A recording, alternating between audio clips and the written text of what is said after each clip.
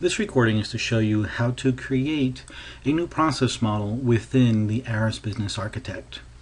Here we're at the home page and I'm going to click on the Explorer module and I have already opened the local database.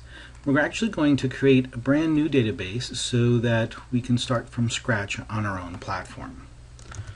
Let's call this the Acme Company and I like to make my ARIS repositories versionable.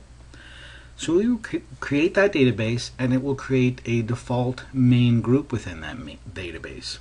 Then we'll create a couple of uh, subfolders or subgroups within that database and that's where we'll place, place our process models.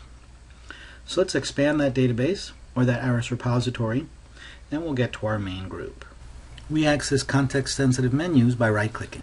So we now have our main group here. We're actually going to rename that group so that it's also called Acme. Then we'll create a couple of subgroups under here and we'll call one organization and we'll call the other one processes. So let's go first to the organization folder, create a new org chart. So we right click select model and here in this menu we can shorten that filter. Actually we should select our organizations just so we can get all the process models available. Select our organizational chart and we'll call this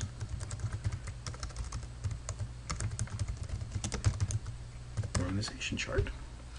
We're going to make something very simplified just for the purposes of having something to link to from another process model. I'll click on symbols in order to get our symbol palette. But actually what I'm going to do is use uh, the Smart Design feature. So I could just drag an element here from the symbol palette and for example click on the canvas and I could call this uh, accounts payable But what I can also do is select Smart Design, which is this little icon here that appears to show a small grid. And that allows me to, to create several items at once in a spreadsheet-like format. So here I'm going to have an organizational unit. We'll call this one, um, say, invoice team. And then the subgroup below it will be invoice receivable and then we'll have invoice approval.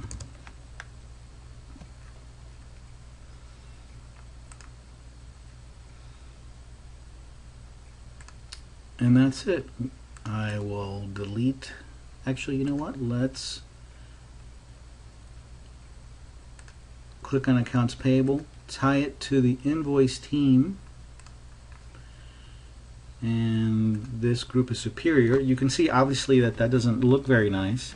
We can click on the arrange menu and it will automatically arrange the layout for us. At least make a best effort. That looks pretty good and so we will save that. Let's go back to our Explorer module. Now create a new process model within our processes folder. So I right click, select new and model and again we have uh, our ARIS house. We can select all of these just so we can see what all of the process models are. There are over 150 process models type process model types because in this case I'm logged in as system and with the full uh, event method method filter. So I'm going to select an EPC model and let's call it the invoice validation process. Click OK. And here we will start out with an event. EPC or event-driven process models always start and end with an event. So in this case, let's say we have invoice received. We follow that with a function. And because we were actually selecting an object on the process canvas, when I selected the function uh, from the symbol palette, then it automatically creates a link. And here it allows you, the radio button, to to determine which direction that link should occur, either from the event to the function or from the function to the event. So this is the sequence that we want. So once we uh, receive the invoice, we want to validate the invoice.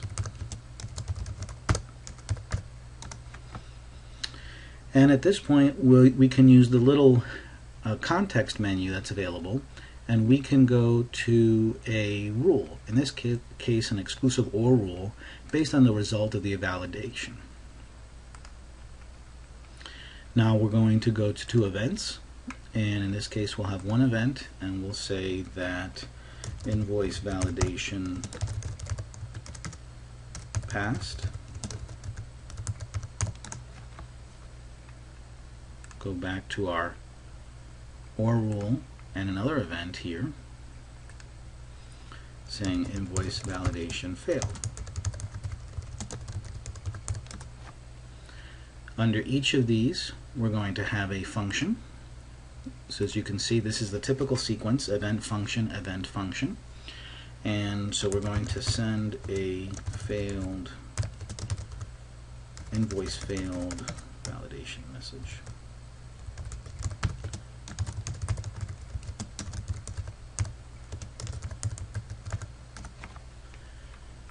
and we want to do the same thing on the passed side.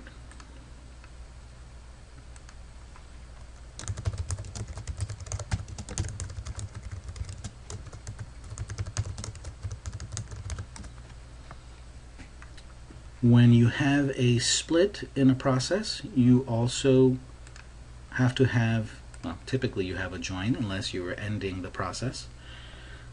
So here we want to join back, and since we split with an exclusive OR, we need to join with an exclusive OR. We'll go back to, and here I can just hover over the object, and you can see that the pointer changes, and I can just click and drag the connection. So here we'll go from our exclusive OR now, finally to our end event and we'll call this um, invoice validation message sent. At this point our process model is done. We'll do an arrange layout so we can get a better look uh, at our process. And now we want to add one data element to this, or, or metadata element, in this case the organizational unit that's involved in these processes. So I'll just add one, and I go over to the right hand side, click the organizational unit, and um, I didn't want to actually do this for the invoice validation uh, sent event, so let me hit escape here. And I could do it, however, for or for this particular function, which is what I wanted. So I select that function, I click on organizational unit, and it creates a link for it. So I could say this organizational unit carries out the send invoice message. So I'll click here. Now what I can do is I could just type the first couple of letters and then do a search within my ARIS repository for any objects that have a similar uh, initial name. So in this case, I can just type the letters IN.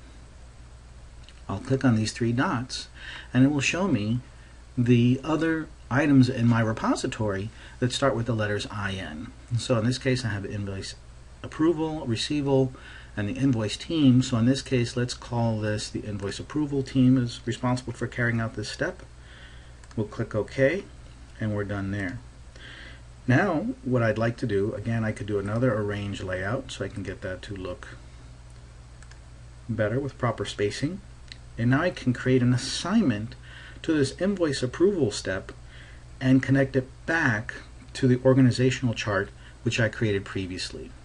So in order to do that, I right click on the object, click on assignments, and here I get to a quick wizard in order to make that assignment. So I want to create a new assignment to this object. I want to connect it to an existing model. I tell it what kind of model I want to connect it to. In this case, it's organizational chart. I click on Next, and then it asks me what process model I want to assign it to. So I could navigate my ARIS repository. I want to tie it to the organization chart. I click on Finish, and it's done. We click OK, and you can see now I have a link underneath here, or an assignment, to another process model. So once I open this process model, the EPC invoice validation process, I can double click on invoice approval and I could see that the invoice approval is a part of the invoice team and reports ultimately to the accounts payable. That ends the recording.